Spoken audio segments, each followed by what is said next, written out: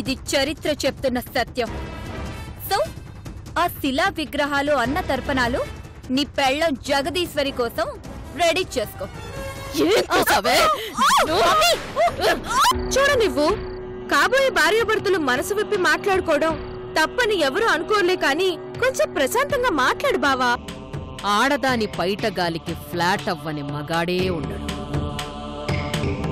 అలాంటిది ఏకంగా ఆడగాలే తగిలితే ఏ మగాడైనా ఆ ఆడదాని వెంట కుక్కలాగా తోకూపుకుంటూ తిరగాల్సిందే.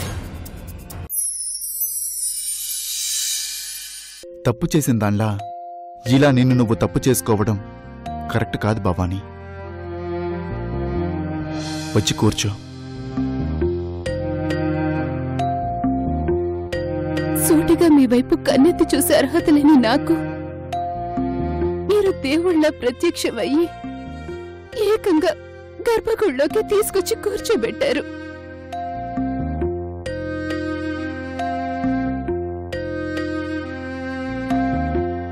ఆ దేవుడి వరంగా భావించాలే తప్ప అవకాశంగా భావించి ఏకంగా ఈ దేవుడి గుండెల మీదే కూర్చోవాలనుకోవడం తప్పవుతుందండి.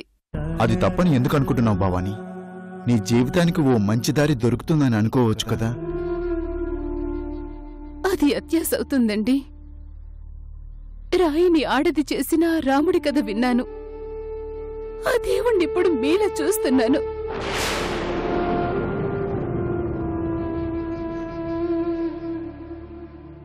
మీరేనండి నా దేవుడు. దేవుడు ఎదురుగా ప్రత్యక్షమైతే చేతులెత్తి మొక్కాలే తప్ప అక్కున చేరాలనుకోవడం ముమ్మాటికి తప్పే అవుతుంది. భవానీ.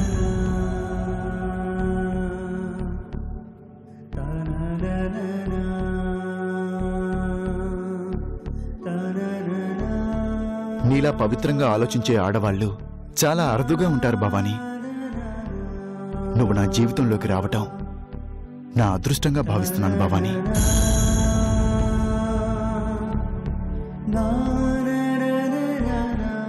ఓకే భవానీ నీ మనసుకు నచ్చినట్టుగానే ఉండు. ఆ విషయంలో నా వల్ల నీకు ఎలాంటి ఇబ్బంది కలగదు. నీకు ఆ స్వేచ్ఛ ఉంది. నేను మాటిస్తున్నాను.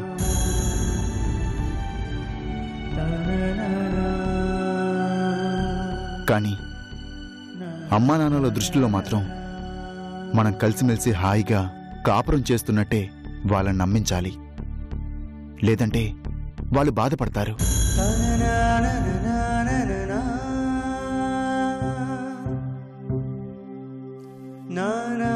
కన్నీళ్ళు చాలా విలువైనవి భవానీ. వాటిని ఊరికే వృధా చేయకు. పడుకో.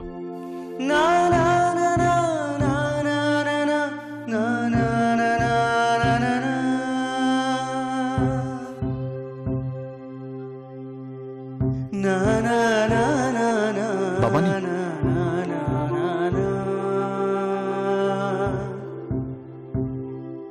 మనమేంటో మనకు తెలుసు. అలాంటప్పుడు ఒకే బెడ్ మీద పడుకున్నా ఎలాంటి తప్పు జరగదనే నా అభిప్రాయం. ఆ పైన నీ ఇష్టం.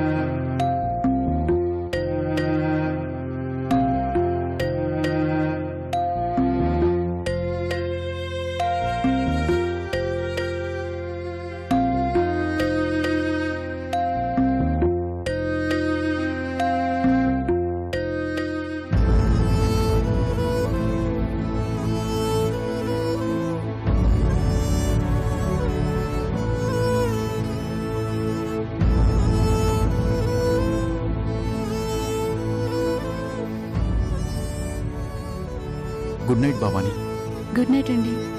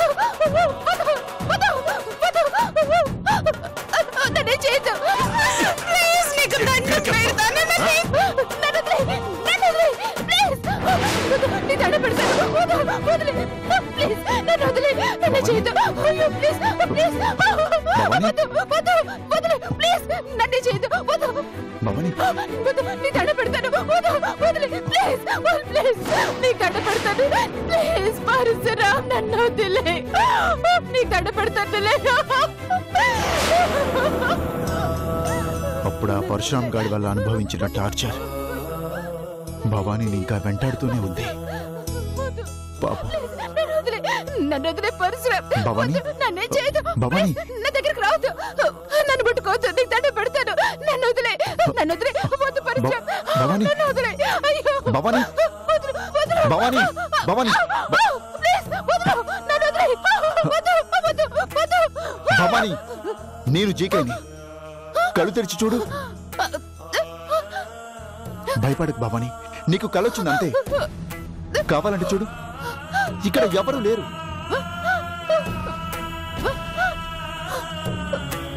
చూడు. ఇక్కడ ఎవరు లేరు.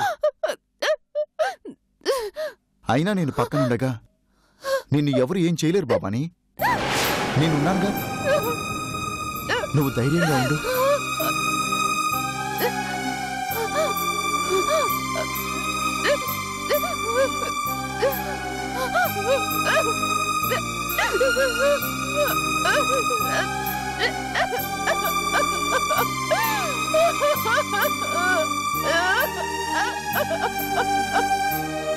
Bhavani. Bhavani. Please Bhavani. Please. Bhavani. Relax Bhavani. Relax. నీకు నేనున్నాను కదా. రిలాక్స్.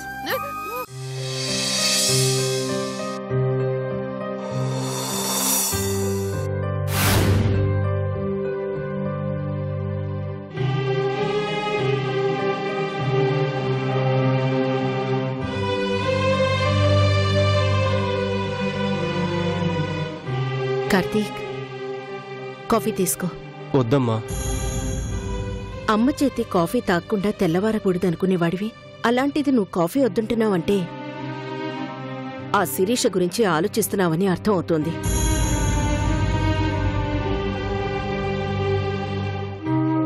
బావా?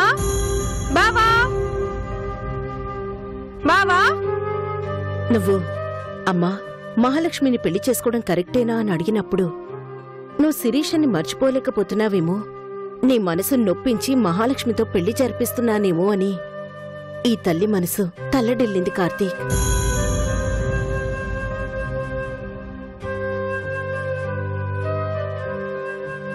బహుశా వెనకాలన్నాడేమో.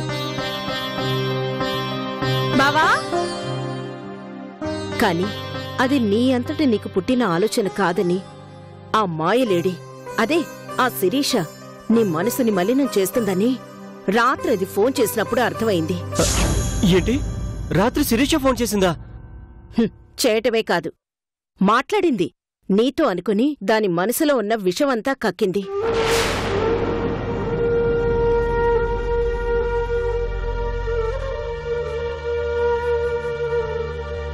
ఏవేవో చెప్పి నిన్ను నమ్మించాలని మహాలక్ష్మితో నీ పెళ్ళి చెడగొట్టి నీ జీవితాన్ని నవ్వుల పాలు చేయాలని అది రకరకాల ప్రయత్నాలు చేస్తోంది కార్తీక్.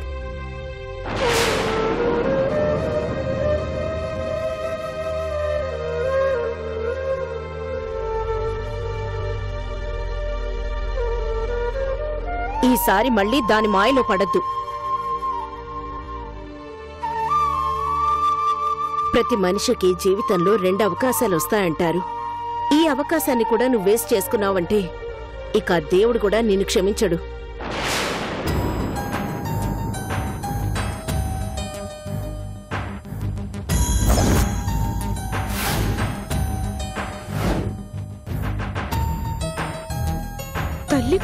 పొద్దునే మీటింగ్ పెట్టారు.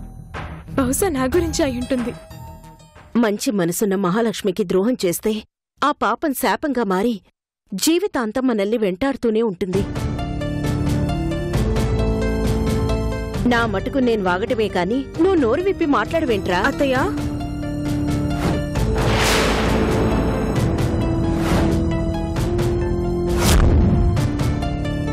అమ్మ మహాలక్ష్మి ఎంతసేపు అయిందమ్మా నువ్వు వచ్చి? ఇప్పుడే అత్తయ్య. బావని మాట్లాడవేంటి అని దేని గురించో నిలదీస్తున్నావు చూడు. అప్పుడొచ్చాను. అత్తయ్య బావ ఏం తప్పు చేశాడు?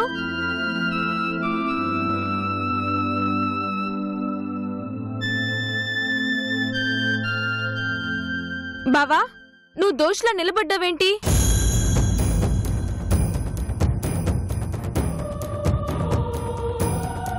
అత్తయ్య మీరు ఒకసారి ఇలా రండి. నాకు తెలుసు నువ్వేం తప్పు చేయవని. మరలాంటప్పుడు ధైర్యంగా అత్తయ్య అడుగుతున్న దానికి సమాధానం చెప్పు బావా.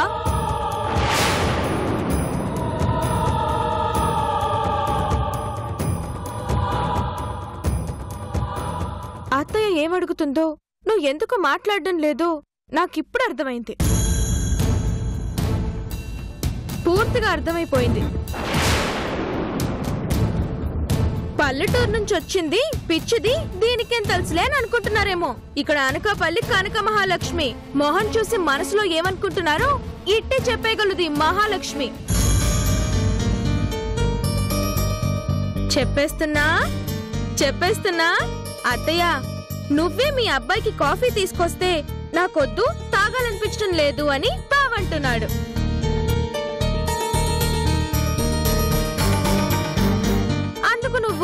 ఏ?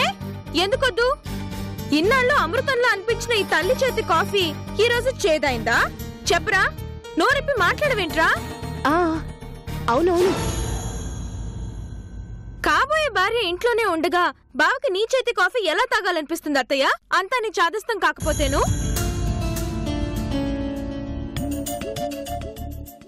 చూడత్తయ్య బావ ఇప్పటి వరకు నీ కొడుకు కాబట్టి నువ్వు తిట్టినా బుజ్జగించినా సరిపోయింది. కానీ ఇకపై మా బావ నాకు కాబోయే భర్త. బావపై సర్వ హక్కులు నావే. కాబట్టి ముందే చెప్తున్నాను బావను పళ్ళెత్తి మాటన్నా నేను ఊరుకోను. కాదు కూడదు అంటూ బావ మీద పెత్తనం చెలాయించామనుకో పెళ్ళికి ముందే అత్త కోడల మధ్య యుద్ధం మొదలవుతుంది. వారంటూ మొదలవుతే వన్ సైడ్ అవుతుంది. అది ఈ కనక మహాలక్ష్మి వైపే డిసైడ్ అవుతుంది. తప్పు. నువ్వు వెళ్ళిపో దీన్నే అంటారమ్మా ముందొచ్చిన చెవుల కంటే వెనకొచ్చిన కొమ్ములే వాడి అని. మీ బావ కాఫీ ఒక్కటి ఇస్తే సరిపోదు. బావా బావా అంటూ వెంట తిరిగితే సరిపోదు. వాడికి నువ్వు నీ టేస్టులు నచ్చేలా చేసుకోవాలి మరి. అలా చూసుకోవాలంటే ముందు నువ్వు మమ్మల్ని వదిలేయాలి కదా. నా కొడుకు మళ్ళీ ఆ శిరీష మాయలో పడకుండా నిష్కల్మషమైన ప్రేమతోనే నువ్వు వాణ్ణి గెలుచుకుంటావన్న నమ్మకం నాకుందమ్మా. ఏంటి ఇంకా ఆలోచిస్తున్నావు వెళ్ళత్తయ్యా వెళ్ళు. వెళ్ళు. నువ్వు తీసుకో బావా. తీసుకో బావా. శైలు నీ అందానికి నేను దాసున్నయ్యాను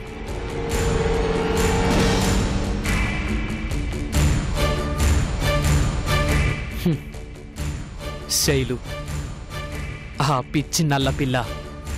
నిన్ను నేను పెళ్ళి చేసుకోగానే నువ్వు చనిపోతావని తను నా భార్య అవుతుందని పిచ్చి పిచ్చి కలలు కంటోంది.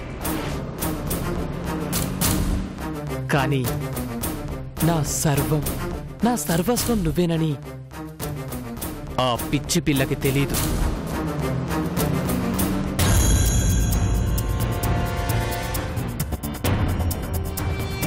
శైలు ఎంత అందంగా ఉన్నావు నువ్వు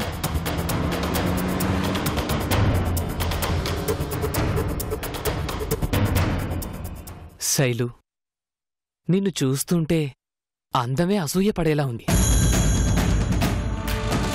ఏమండి? మీకు ఫోన్ వచ్చింది. హలో. నమస్తే రాజేశ్వరి గారు. ఎలా ఉన్నారు?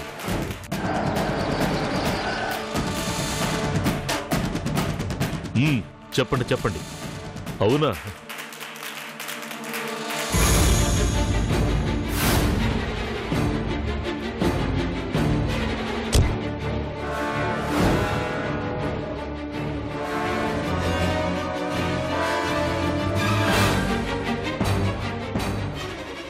ఈ పిల్ల ఇప్పుడొస్తుందేంటి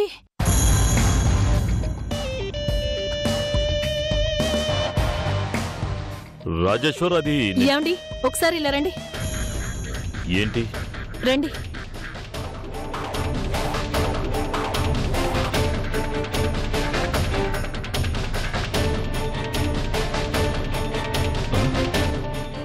రాజేశ్వర్ గారు నేను మళ్ళీ చేస్తాను ప్లీజ్.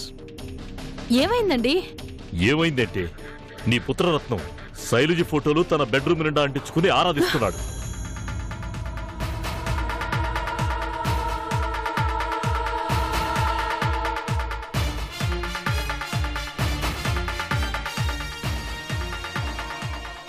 ఇప్పుడు ఈ పిల్ల చూసిందంటే కొంప కొల్లిరైపోతుంది.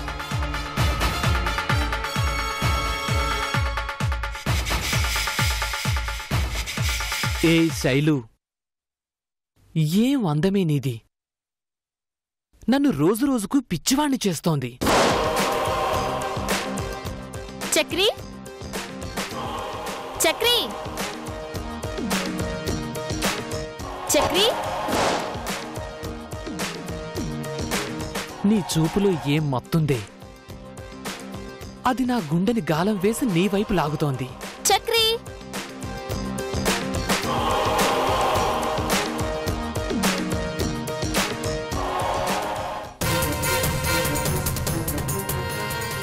చక్రి!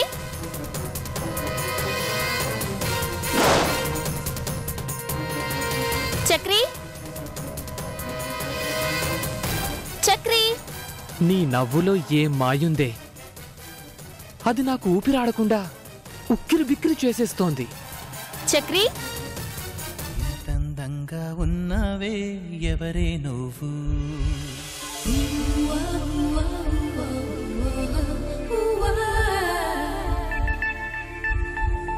నాలో అలచడి రేపింది నీ చిరునవ్వు.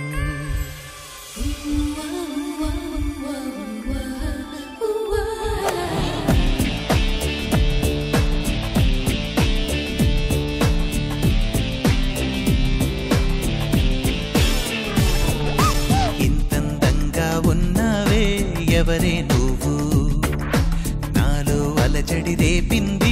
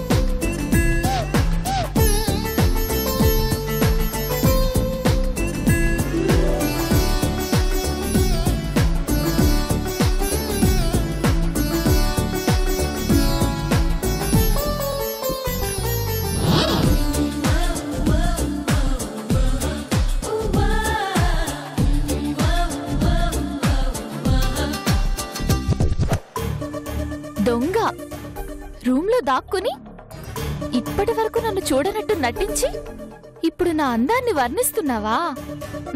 వస్తున్నా చూడు. Let him sing for me ఇంతందంగా ఉన్నావే ఎవరే నువ్వు?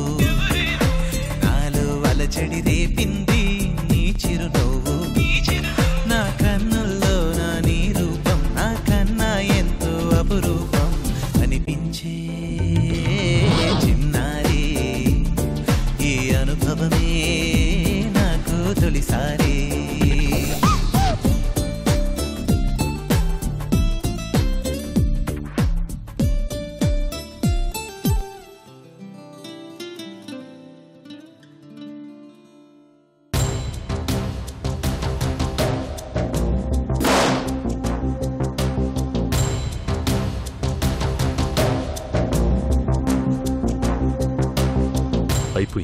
అనుకున్నదంతా అయిపోయింది.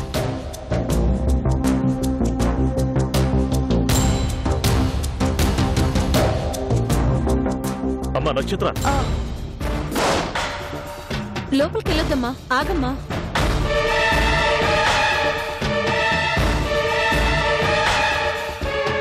Hi aunty hi uncle. Hi. Hi. ఎలా ఉన్నావు మా నక్షత్ర? ఇలా వచ్చావేంటమ్మా? చక్రి కోసం వచ్చాను ఆంటీ. బాగా బోరింగ్గా అనిపిస్తే సరదాగా కాసేపు చక్రితో మాట్లాడదామని వచ్చాను. మీరేంటి ఆ రూమ్లోకి వెళ్ళొద్దని ఒకేసారి అలా అరిచారు?